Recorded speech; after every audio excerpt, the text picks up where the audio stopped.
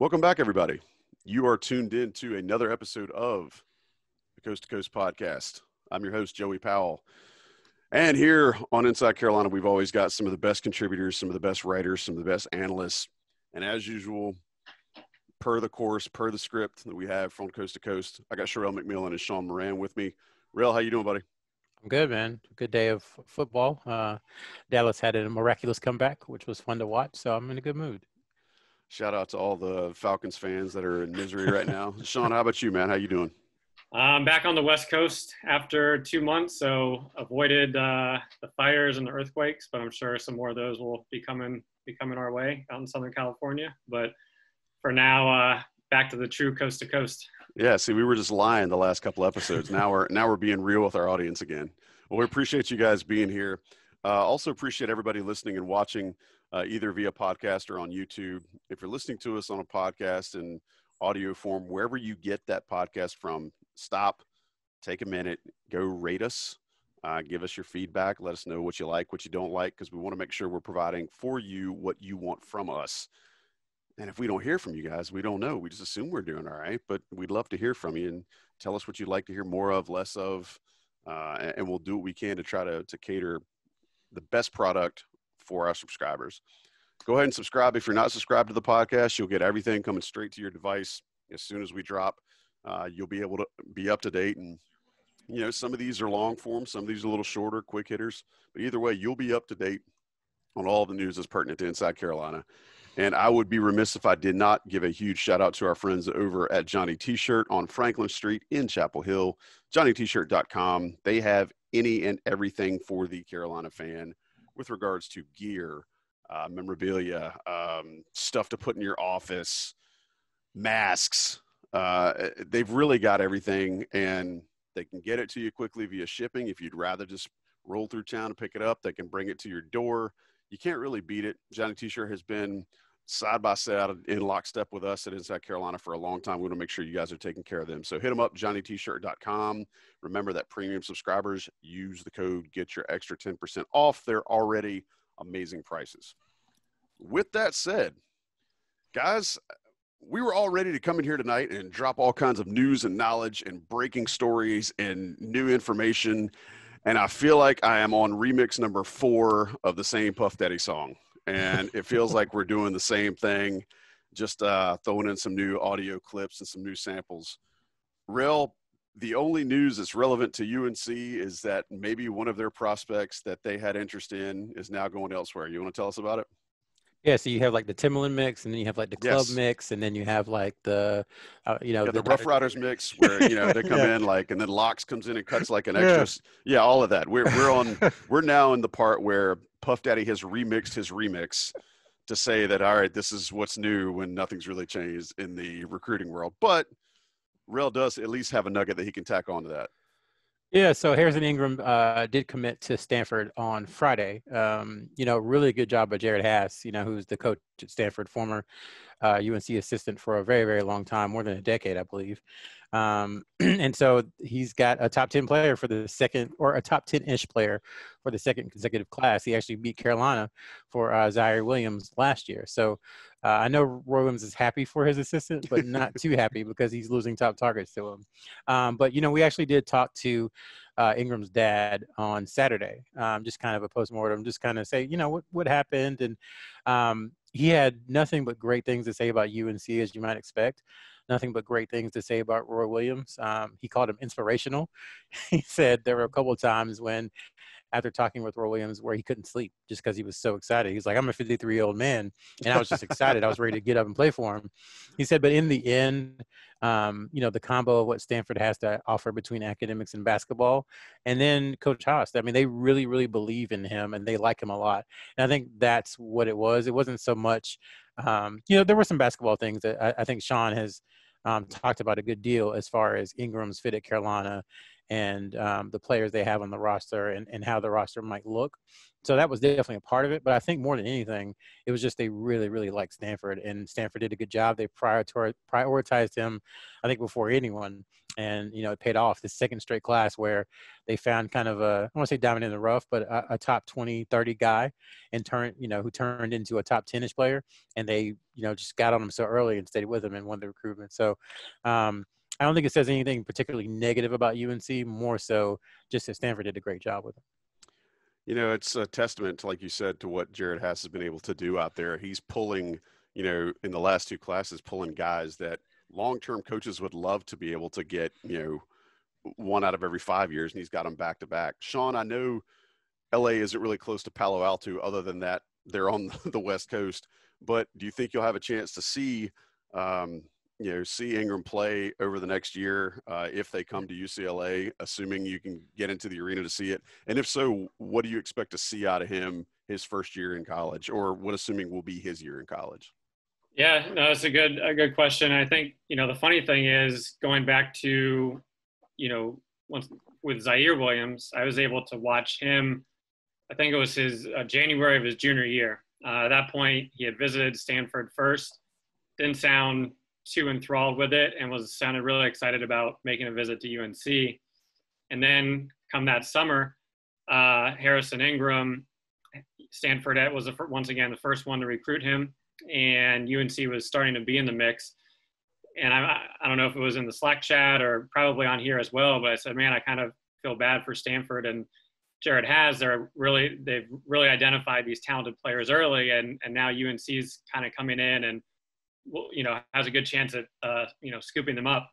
And both of those, in both of those cases, it didn't, that was not accurate. And Stanford was the first one in. And despite other people entering the fray, uh, they were able to get. So, yeah, in terms of Ingram, um, you know, I've always thought there could, you know, again, a lot, a lot of things can change, but I always thought there could be the potential for him uh, to be in school more than one year. I think Ziaire, that's assumed he's going to be one and done for sure. Um, but with Ingram, you know, athletically, does he, you know, does he have that NBA athleticism? Not really, but with his versatility, you know, perhaps that's a selling point. Uh, come, you know, when he's ready to get get drafted. But you know, when, when you go to Stanford, Ziaire will be gone, um, and I think they'll give him the keys, and he'll have the freedom to play that playmaker role that he does in AAU in high school and had the ball in his hands really from the get go. So, you know, UNC, I think he would have had a big role, but there would have been, uh, you know, different things to fit around him or him to fit into.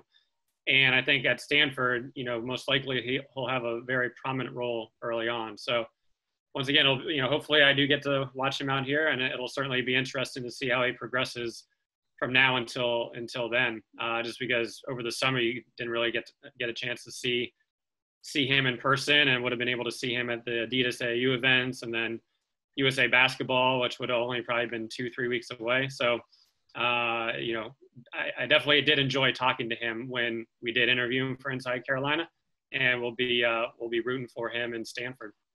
Awesome, that's a good perspective, guys. I want to change gears just a little bit. Uh, Travis Branham wrote something on September the 17th that is on the Inside Carolina uh, premium content. So if you're not a subscriber there, be sure you you you make that change to all our listeners.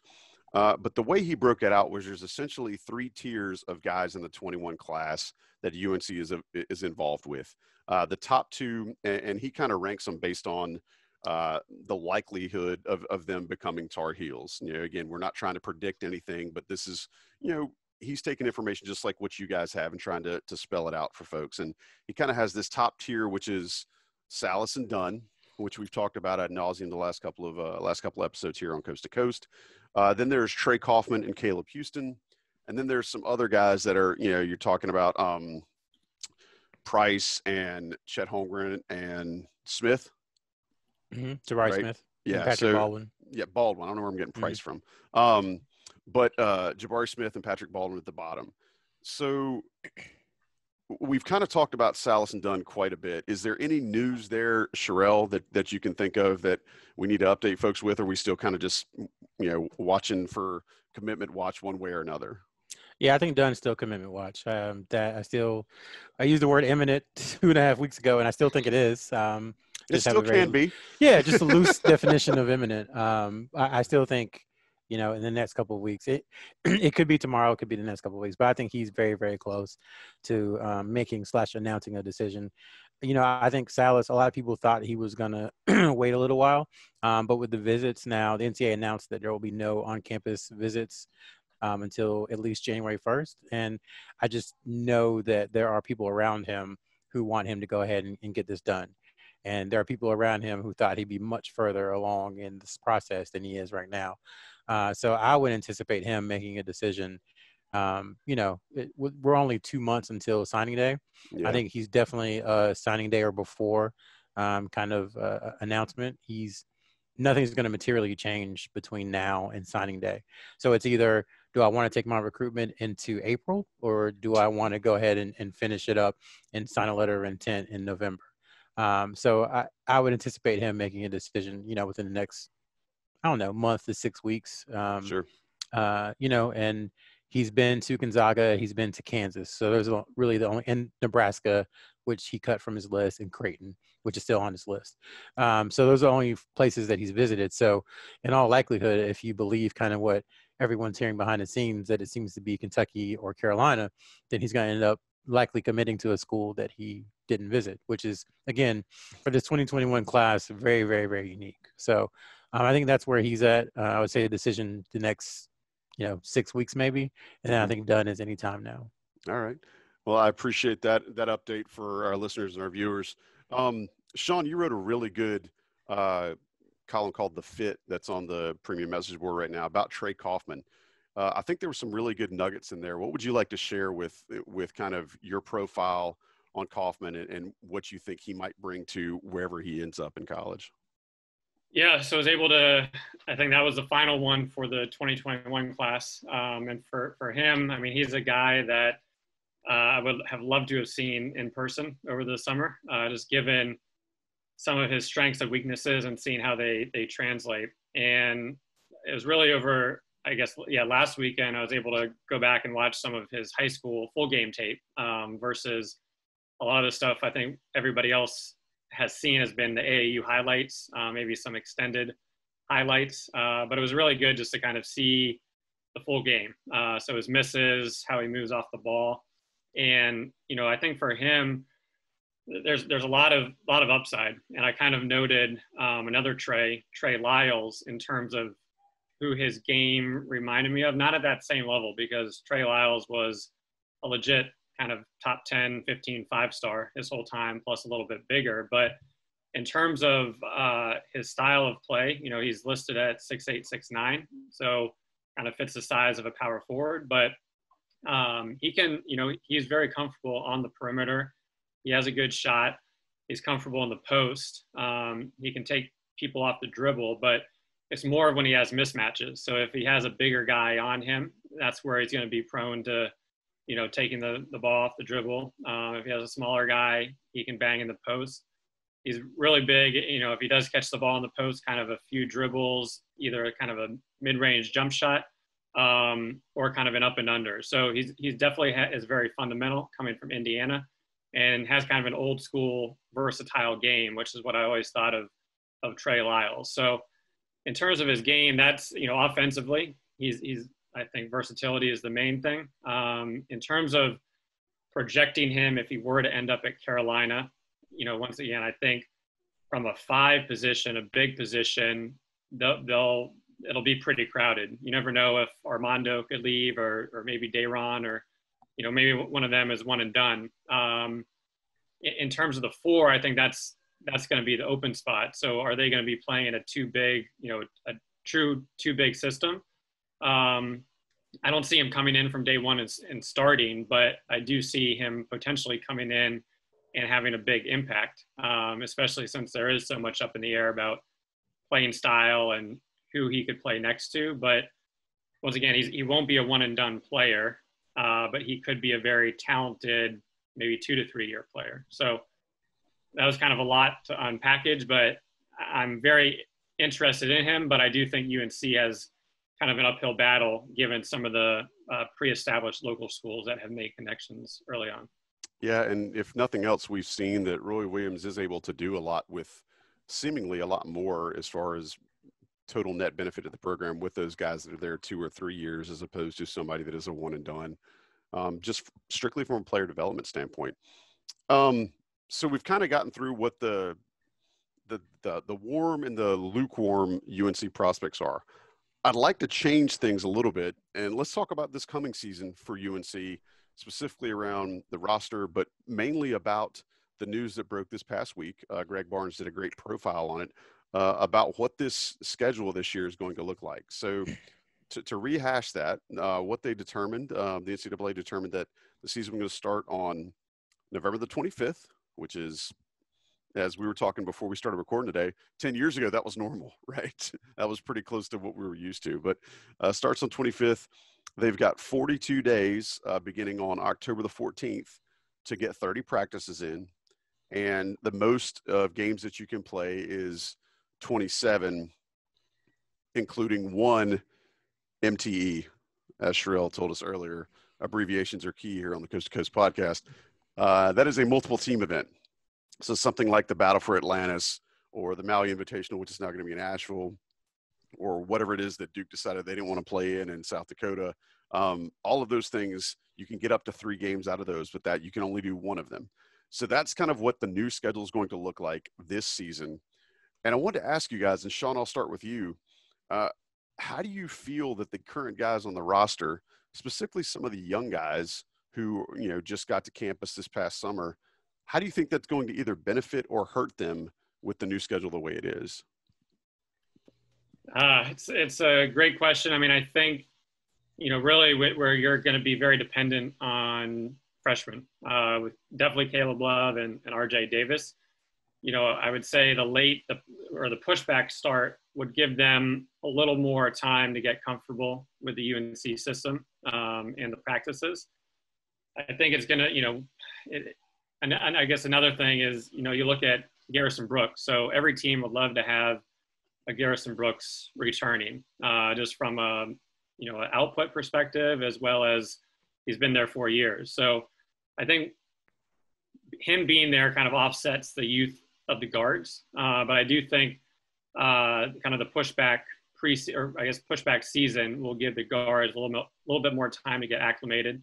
Um, you know, they're not going to have as many games to get acclimated in. So maybe come, you know, December and January with ACC season, it's still, you know, a little bit rough, you know, rough sledding. But right. at the same time, you know, if you're you're going to, you know, say UVA early on or you know on the road in the ACC, you're most likely the, the crowd is not going to have a significant advantage if there is any crowd, depending on where you go. Um, so I think it'll still it'll, it's going to be very interesting, especially given everybody that UNC is adding uh, the year they had last year. But once again, I think having having Brooks back is is huge, and then um, you know once again, as we talked about, really all spring and summer, a lot is going to be put on the freshmen on their shoulders, and hopefully they can adapt pretty quickly.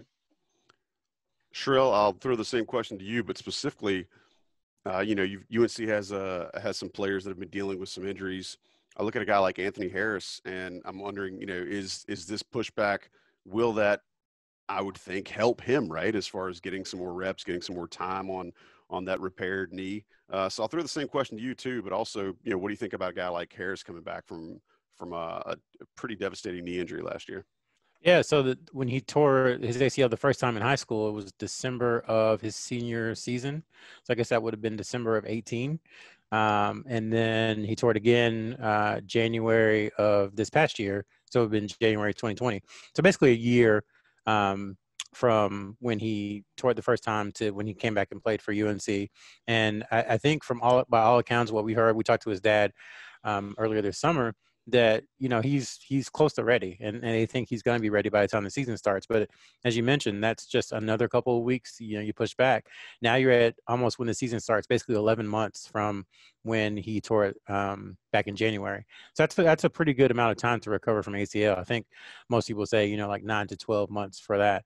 Um, but you have to remember even though he's played in four games, he's still basically a freshman too. Mm-hmm. So Caleb Love is a freshman, and RJ Davis is a freshman, and it's just going to be a very unique season for I mean, for obvious reasons. But if you think about it, what better year to have a team with freshmen as guards than this year? Mm-hmm. Like Sean said, you know, you're not gonna have to worry about 20,000 fans yelling at you when you go on the road. You might have to worry about, you know, 15 or 20 parents or whatever, you know, yelling at you, but that's about it. You're used to that, you know, in AAU games and high school games. Um, you're basically living in a bubble. I know that the NCAA doesn't want to call it that, but you're not going, you shouldn't be going to parties. If you are, you know, you're out of compliance. You shouldn't be going to parties. You know, there's no one really to hang out with. There's nothing recreational really to do um, except for go to class online, go to the gym and get shots up and work out and lift weights and condition. I mean, besides that, I, I don't really know what else there is to do, honestly. I mean, you you can't. I mean, there's nothing else to do. It's it's it's college. Hashtag on my grind. Right? Yeah, it's it's college. It's college. It's college basketball without the college, essentially. Right. Um, which brings us to a whole nother topic. But none of the distractions are there. So you know they're not going to have to deal with all that stuff that most freshmen have to deal with when they first get to UNC. Um, and then as far as the season goes, I would imagine when the schedule comes out, games are going to have to be spaced pretty well apart so that you know you it's unlikely anybody's going to be playing on a Thursday and then a Saturday, just because you have to get tested and you have to go through protocols and all mm-hmm. that good stuff. So the t- wear and tear on their body isn't going to be what it usually would be for for a lot of freshmen, where you're going Wednesday, Saturday, you know, Wednesday, Saturday, Monday, Thursday, Wednesday, yeah. you know, that kind of cadence. Four games in like 11 day Yeah, yeah. I, I would be surprised if that, I could be wrong, but I would be surprised if the schedule sets up that way just because of everything that was required with COVID. So it's going to be very unique. And some of the things that, you know, all the Carolina freshmen in history have had to deal with, they're not going to. But, you know, on the flip side, they also missed out on summer pickup and being yeah. there when Roy Williams has his Carolina basketball camp and some of the things that you would want and you go to college for, they missed out on. So while there are some advantages on the court, there's so much stuff off the court that they missed too. So how do you anticipate this helping uh, some of the young guys? You know, Sean mentioned it, you mentioned it. This is going to be a very uh, heavily driven uh, youth backcourt, youthful backcourt, young backcourt, whatever it is I want to say. But there's going to be a lot of youngins handling the ball to start with for UNC. How do you think they approach these extra couple of weeks or this delayed time from a coaching standpoint? How do you think they they try to work these guys in? Well, we talked to um, Bobby Frasor a few weeks ago for a weekly scoop about this topic about, you know, how will, will Williams, you know, coach his team without fans? He was like, he's going to do what he always does. They're going to run and they're going to rebound. Um, what he did say was though with with the freshmen, I think um, you know just they're going to run up and down the court. They're going to go really fast. That's what Roy Williams wants. Roy Williams wants them to do. So it's not it's not going to be a, a, huge difference really in, in how the you know they approach things and how they run their offense or or anything like that um, it, I, frankly, I just see a bunch of positives, you know, especially for someone like Caleb Love, who's the presumptive starter at point guard or at lead guard. Um, you know, he's he's just not going to have those things to worry about, and I, I, think it's a it's a really a positive thing to come out of you know all this that the year that North Carolina is going to have freshmen predominantly playing in playing in the backcourt, they're not going to have to worry about some of the distractions on and off the court that you know they typically would. So Sherrell's going to be our optimist tonight. Uh, Sean, I'm going to throw something to you. You don't have to totally take the other side of the coin, but I do want to ask, what does this do for recruiting? I mean, we mentioned the dead period's been pushed back to January 1, or I'm sorry, has been extended to January 1. Now you've got the college schedule that has been pushed back. How is this going to tie into the way coaches are currently evaluating? Because we've said in the last two episodes of Coast to Coast here that it's just really been weird. How do you think, knowing now that this, the season's going to start, 1125. These are the windows you have to start practicing on October the 14th. What does this do for a coaching staff as far as figuring out how else are we going to finish out 21 and how are we going to look towards 22? Yeah, I, mean I, that's a great question because especially with UNC and, and Roy Williams, you know, it's it's usually uh, you know around now the open gyms are occurring, so they're they're out and about, uh, really crisscrossing the country in ter- in terms of what Coach Williams and the, and the coaching staff where they go. And then, you know, you enter in usually the preseason. And, and really, I feel in that November, December timeframe, uh, especially once you get closer to finals, is where, once again, Roy's pretty much out on the road every day of the week. Um, you know, and he's even turning over some of the practices to Coach Robinson etc. Um, and then you're not going to have you know midnight madness, you know midnight madness for really bringing in some of the star recruits or some of the younger talent in the area, and then. Uh, you know, as the season goes, using some of those the big games as once again one of the key things about UNC is just getting people on campus and seeing the Dean Dome and the you know 20,000 plus fans in the arena. So it really changes things up. Uh, but I think it gives the coaching staff one more time, you know, more focus on the the players, uh, which I think they'll definitely need with so many freshmen coming in. If UNC is able to land some of those kind of top targets in 2021, that makes things a little easier. If they don't, then you know it'll be interesting to see do they once again start offering other players will they be waiting for the spring in terms of maybe some decommitments or the grad transfers obviously we saw how that played out last year but i think with how this year is going to go they'll probably be an abundant abundance of other transfers to be looking at um, you know next year but once again, I think if they can land some, you know, whether it's a Sallis or, you know, I, you know, Dunn, ideally a Sallis and Dunn, but if you can land one of those top prospects, you're feeling a lot better and you can focus a lot more on the current team. Yeah, and I'll just add, I, I told you guys I was going to say this every single podcast until, you know, they're allowed to go see guys again, but – we're getting to a point where there's not any film left. You know, the last it's I'm all been watched. Keep, I'm, yeah, I'm gonna keep hammering this home. The last time these guys played competitive basketball, like really competitive basketball, was in March. And if you're a 2022 player, yeah, you might have played some tournaments over the summer, but it's just not the same as it would have been if you were playing EYBL, EYBL uh, for Nike, Adidas, or Under Armour. And so if we're assuming that you know guys are able to play in January and February, it's a whole year without tape. That's a whole summer and fall. The fall evaluation period would have started last week uh, that Sean was talking about. There's just a long time for guys to develop on their own. So even if you do have tape on a guy that you like, we should stop saying tape. Even if you have digital recordings of a guy that you that you like, Betamaxes of a guy, right? That, that you saw in March who knows what he looks like now? He could be 30 pounds heavier. He could be 15 pounds lighter. He could have grown six inches. He could be completely different from the last time you saw them. So I think that is something to keep an eye on too. Is that the evaluation was already hard for 2021, and it's just going to get harder, uh, you know, for 2022 until some of the stuff start changing with with the virus, and you know, none of us know when that's going to happen. So.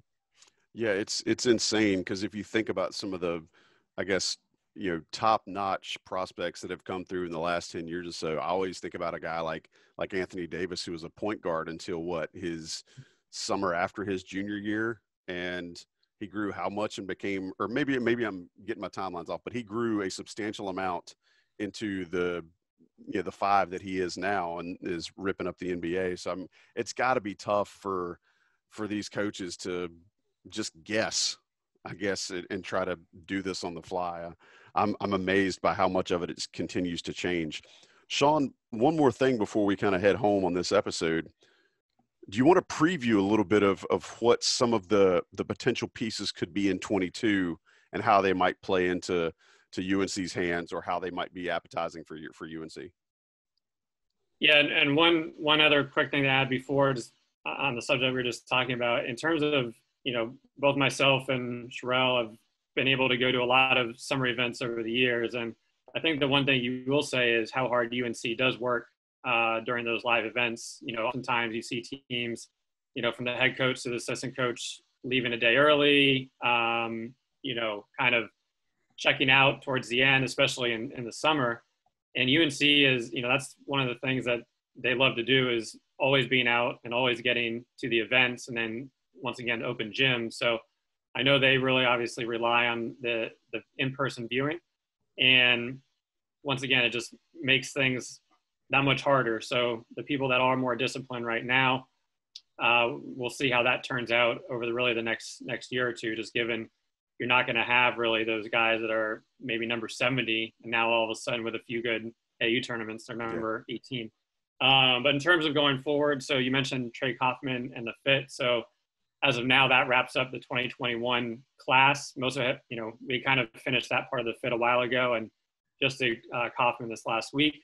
Uh, so now 2022, Skyy Clark will be uh, first early this week.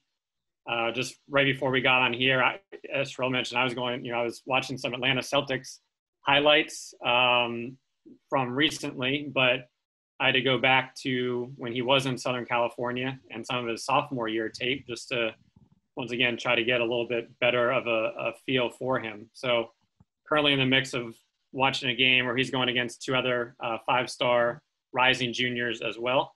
Um, but yeah, so he'll be out early early this week, and then kind of go to Jaden Bradley and Mitchell and, and Andrews, and and then um, we'll see. Hopefully, there'll be, be some more coming up in in either of the classes. Some more offers to discuss. Hopefully, look, as I know we've said it the last couple episodes, but I honestly think that at some point time is going to run out and things are going to have to change. Right? At some point, offers are going to go out. Uh, players are going to commit coaches are going to have to adjust. Like, think it can't just continue to be this status quo for so long. I'm, I'm not, I'm not making things up by saying that, right?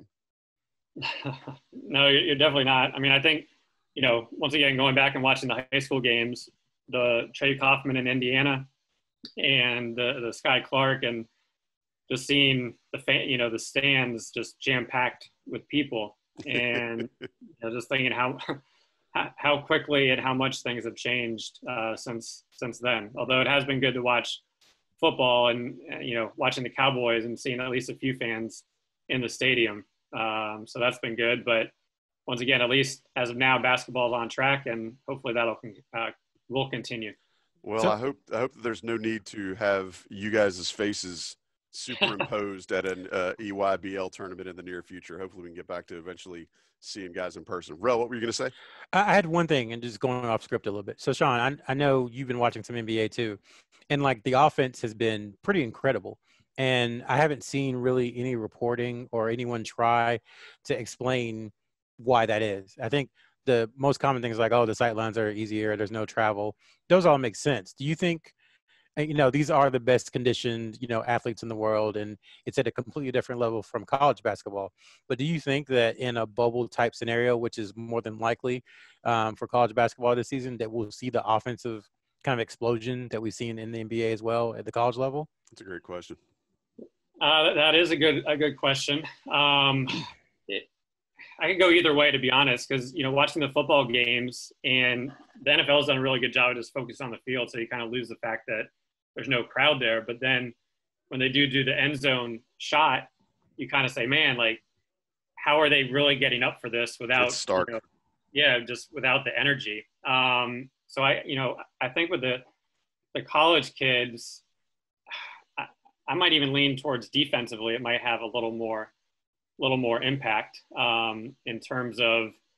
Once again, you always talk about playing in the in the you know the the domes come the final four and how does that impact the sight lines and you know maybe now you're playing in these you know instead of these high school gyms you're playing in these 10 15 20,000 arenas that for the most part are pretty pretty silent um, so I guess I'm not going to really be able to answer answer that, but I, I, think it is a good question. I mean, the NBA has done a, a great job.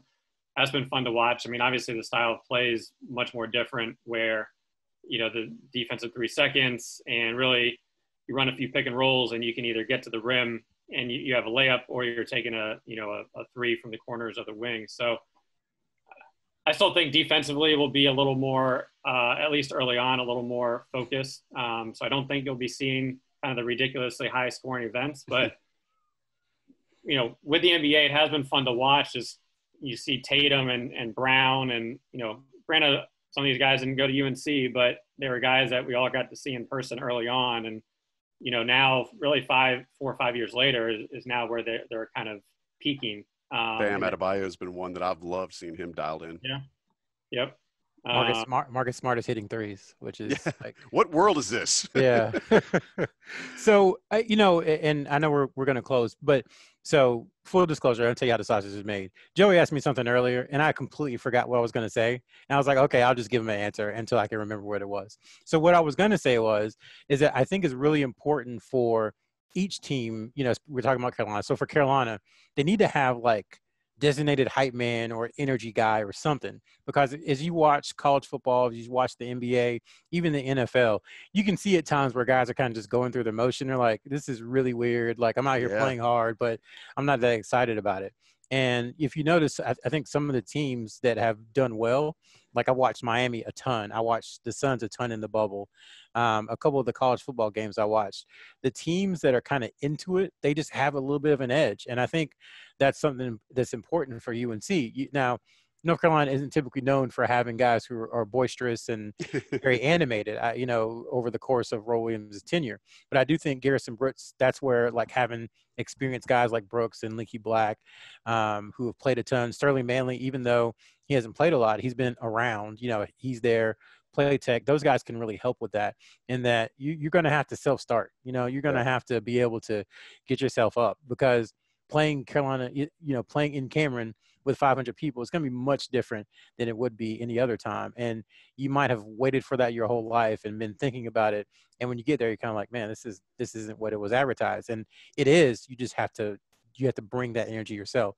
So I think that's going to be really important. That, um, I, and I think the coaching staff will kind of hammer that home. Is you you have to be into it from the start because no one's going to get you excited other than you know it's these 13 guys, the three coaches, these are the only people who are going to get you excited and get you energized. So you have to be prepared and, and, and get yourself ready to play.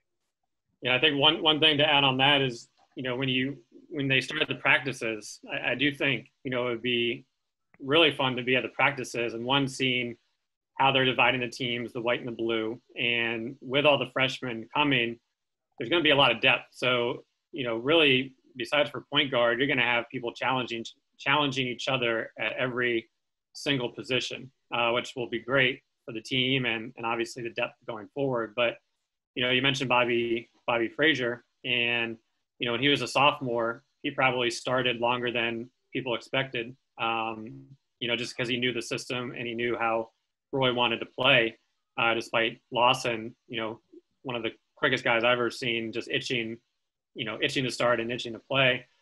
And I could see, you know, a guy like Platek uh, maybe playing a more instrumental part early on.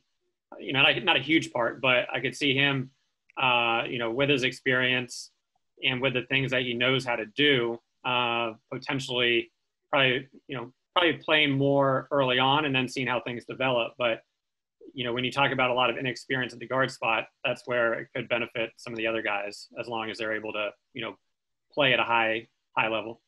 And in those battles, you know, if it, if it's a situation where two guys are, are basically the same and they're trying to find something to differentiate, maybe it's energy, maybe it's you know, maybe it's just how into it you are, you know, it because it's just going to be so different. And I think they might lean to guys who play with that passion and with that energy, even though some of the best players in Carolina history maybe didn't do it. I think this is a year that maybe that is something that it gets brought, you know, brought up and, and it's something that they look for and that's the guy, you know, Harris. Once he gets back, because he was the guy when he when he was in last year. You're like, man, this guy is he get he really gets after. He really plays hard. Um, so I think once he gets healthy, he can definitely play a part of that. Well, I think we've given enough of a tease to our listeners to now they can actually start thinking about it. You know, we've got we've got to start to the season now. It's starting to get real, kind of like it happened with football, where you know, okay, we've got a date on the calendar. We can start moving towards it. We can start getting our hopes up. Uh, I, I, hope that this is a little better uh, start to a season than, than football has been for the Tar Heels from a sense of being able to play the games that are scheduled. And I do think smaller rosters will help, but I think you guys have hit some really, really good points about how the team will prepare, knowing when the start date's going to be, knowing how they're going to acclimate some of the younger guys and get them up to speed. And I think you guys have brought some really strong insight uh, to the show tonight. So I appreciate that. Um, want to thank everybody for listening. Want to thank everybody for tuning in. Make sure you check out Johnny T-shirt, johnnytshirt.com. Give them a big shout out. Thank them for supporting Inside Carolina and the work that we do. Use your premium subscriber 10% discount. If you're not a premium subscriber to Inside Carolina's content, get with the program. Uh, is that a little harsh? Maybe it's a little harsh. I don't know. Go do it. How's that? Become a subscriber. Also, subscribe to all the uh, Inside Carolina Network podcasts. Get all the stuff just like this episode of the Coast to Coast sent to you as soon as they get posted. But we appreciate you guys joining us this week on this episode of Coast to Coast. we will be back at you in uh, in a couple of weeks, if not sooner, depending on what happens with with news breaking and things changing, and hopefully, hopefully we'll have some really uh, juicy tidbits to discuss relatively soon. But want to thank Sherrell McMillan, and Sean Moran, as always.